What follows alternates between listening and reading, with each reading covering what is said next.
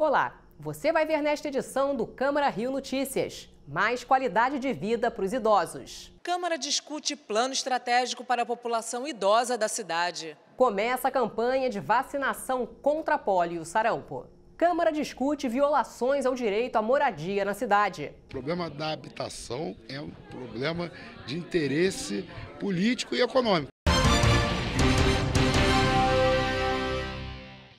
A gente começa esta edição falando do encontro realizado na Câmara Municipal do Rio para discutir um plano estratégico para melhorar a qualidade de vida da população idosa. Segundo dados do IBGE, o Rio é a segunda cidade com os maiores indicadores de envelhecimento do país. A situação preocupa a Comissão Permanente do Idoso, que decidiu promover um debate com representantes da Prefeitura, da sociedade civil, de órgãos públicos e da iniciativa privada.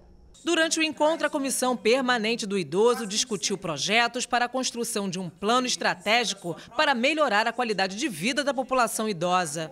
Os projetos irão contar com a aplicação de recursos do Fundo Nacional do Idoso. A iniciativa faz parte de uma parceria público-privada que conta com a participação do governo municipal, órgãos públicos, da sociedade civil e da iniciativa privada. Essa é uma, é uma iniciativa que, como o banco vem já é, investindo muito em em fundos, né, via lei de incentivo municipal do idoso, identificou que tinha uma oportunidade onde dá um apoio aos conselhos municipais de dar mais qualificação para é, complementar as políticas públicas existentes. O município tem um fundo municipal do idoso, onde que as empresas ou pessoas físicas podem doar é, um, uma parte, uma parcela do seu imposto de renda, ele pode ser destinado diretamente no município. A cidade do Rio está entre as cinco cidades brasileiras escolhidas para desenvolver um plano estratégico. Segundo dados do IBGE, o Rio é a segunda cidade com os maiores indicadores de envelhecimento do país. É um fenômeno global, mas que está acontecendo no Brasil de maneira muito acelerada também, que é essa ideia do envelhecimento da população. E dentro do Brasil tem algumas cidades que tão, vão passar por isso primeiro. O Rio de Janeiro é a segunda capital que vai ter uma população maior de idosos do que de, de jovens. Né? Em 20 anos, a gente vai ter uma população de 60 anos ou mais do mesmo número de, de população de 0 a 14 e em 40 anos, essa população vai ser quase duas vezes maior. Então, a gente está falando de um cenário em que a vida cotidiana vai ser permeada por pessoas acima de 60 anos.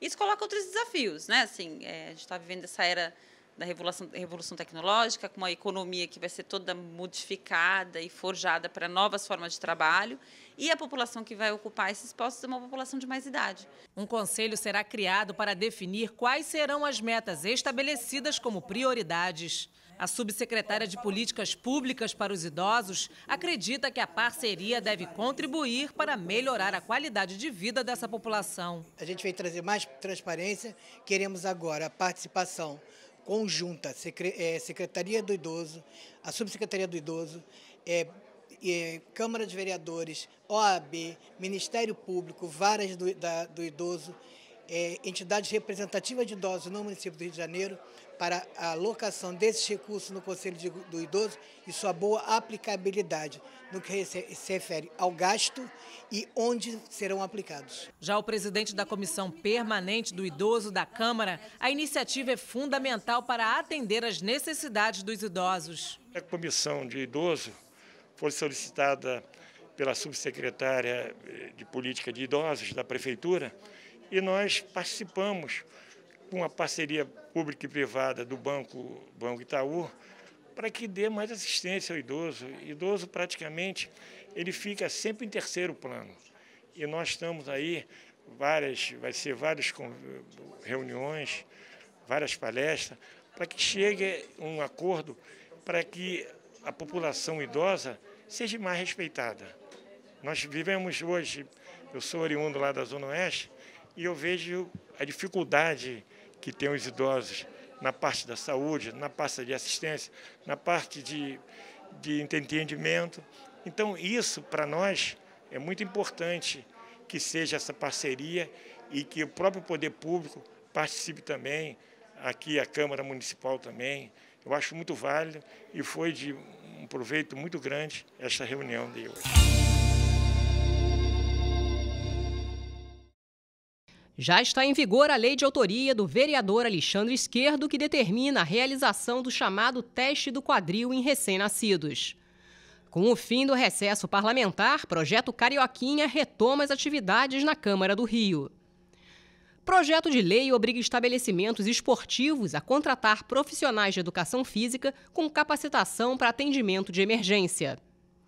Proposta do vereador Val Ceasa determina que farmácias e drogarias divulguem listagem de medicamentos proibidos, interditados ou suspensos. E estudo técnico da consultoria e assessoramento legislativo da Câmara do Rio mostra a relação do parlamento com o carnaval. E começou nesta segunda-feira a campanha nacional de vacinação contra pólio e sarampo. Na capital do estado, a abertura aconteceu na Zona Oeste, onde o prefeito Marcelo Crivella inaugurou a primeira clínica da família da Cidade de Deus. Devem ser vacinadas as crianças com idade entre 1 e 4 anos. A campanha vai até o dia 31 de agosto. Não adianta fazer beicinho, a gotinha não dói. Isso! Já a picada é um pouquinho sofrida, mas evita sofrimentos bem piores. A Jamile, de um ano e quatro meses, foi uma das primeiras a participar da campanha nacional de vacinação contra o sarampo e a poliomielite. O Ministério da Saúde recomenda a gotinha para as crianças que não tomaram nenhuma dose durante a vida e a picada para todas elas, especialmente as que tiverem entre 1 e 4 anos e 11 meses de idade. A proteção contra o sarampo faz parte da tríplice viral, que também previne a rubéola e a cachumba. A criança que já tomou as duas doses, como é que deve proceder? A gente sempre avalia a caderneta da criança, então isso é um critério importante, né? É, levem as cadernetas até os postos de saúde para que a equipe de saúde da, da sala de vacina possa avaliar, para que a gente veja é, se tem alguma outra vacina a ser atualizada, né? E aí, diante do histórico vacinal da criança, a gente vai administrar as vacinas da campanha, né? Tríplice viral e poliomielite. Em 2016, o Brasil recebeu da Organização Pan-Americana da Saúde o certificado de eliminação da circulação do vírus do sarampo. Porém, este ano a doença ressurgiu. Só no Rio já são 14 casos confirmados. O sarampo é altamente contagioso, provoca tosse, espirro e manchas na pele. A gente tem uma circulação do vírus, não só aqui, né, mas a gente tem aí um histórico fora do país também. É uma doença muito importante e que a gente tem como se proteger através de vacina. Então é importante, é uma doença imunoprevenível que a gente tem que se proteger, tem como se proteger. Então é importante que todos estejam, não só as crianças, mas os adultos também com as suas cadernetas de vacinas atualizadas. Já a poliomielite está erradicada no país desde 1990, mas a prevenção garante que ela continue extinta. Isso se deve muito ao nosso histórico do Programa Nacional de Imunizações, né? Que privilegiou que a gente tivesse essa vacina, que a gente tenha essa vacina há bastante tempo e com isso que hoje as nossas crianças não tenham mais o desenvolvimento da doença. Mas a gente precisa manter uma cobertura alta dessa vacina na população e é por isso que a gente traz agora a campanha contra a polio. Sábado, 18 de agosto, será o dia D de vacinação. Todos os postos de saúde estarão funcionando. A expectativa é imunizar mais de 800 mil crianças em todo o estado. Andréia aproveitou a campanha para atualizar todas as vacinas da Débora, que acabou de completar um aninho. Eu sempre digo ela muito bem, depois que ela toma vacina. Eu tenho uma filha maior também que está adaptada a tomar vacina. Sabe que é a picadinha, mas que vale o benefício. Jaqueline teve sarampo ainda criança e não quer ver o Miguel sentindo a mesma dor. Quase morri, sarampo quase matava quando a gente era pequeno. Não existia vacina na nossa época. Eu vou fazer quase 40 anos, eu era bebê. Então, para o meu filho não sofrer essas coisas, é muito importante dar vacina.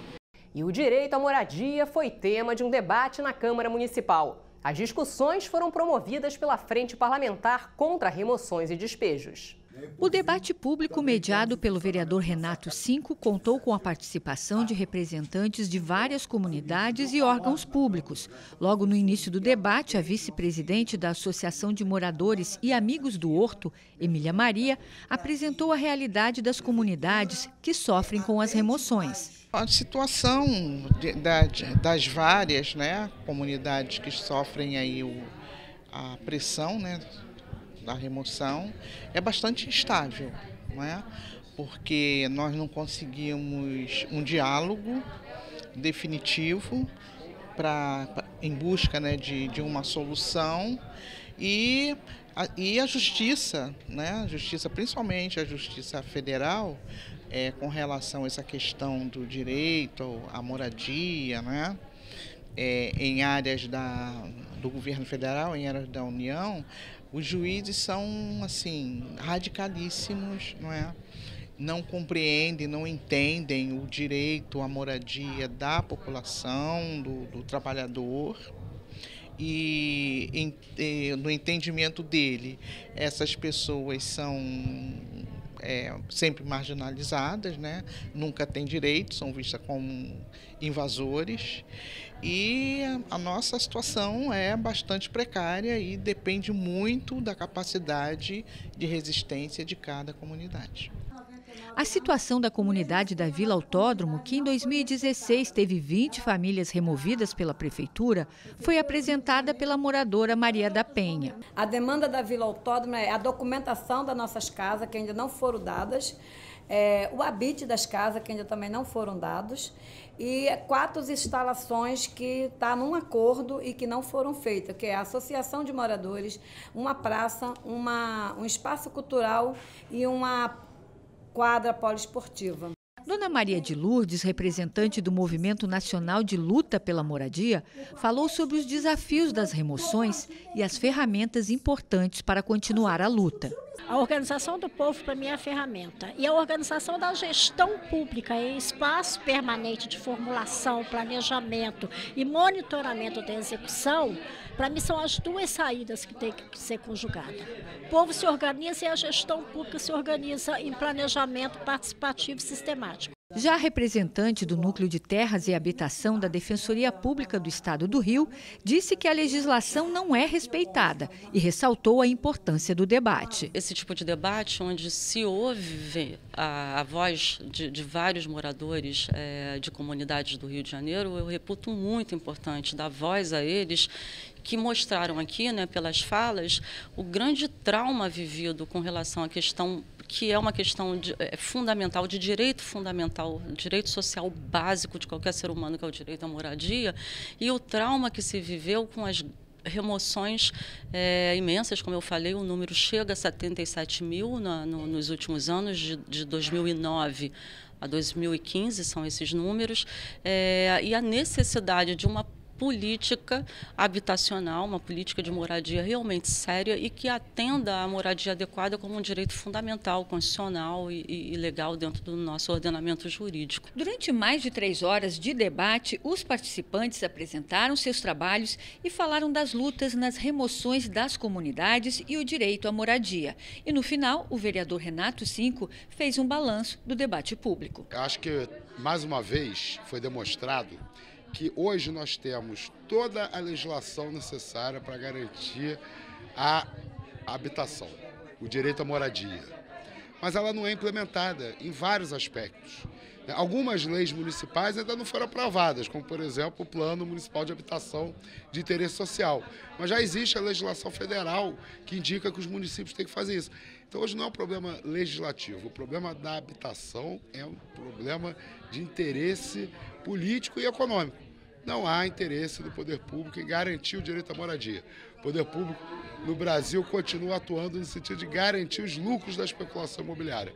Acho que essa audiência hoje demonstrou isso muito bem. O vereador Renato Cinco também pretende realizar uma audiência pública para discutir as ocupações de alta renda. Uma comunidade né, é ameaçada de remoção por conta de danos ambientais. E ao lado, o condomínio de luxo não é ameaçado de remoção. Então, nós queremos também avaliar qual é a condição, qual é a situação hoje das ocupações irregulares de alta renda. E o Câmara Rio Notícias fica por aqui. Até amanhã.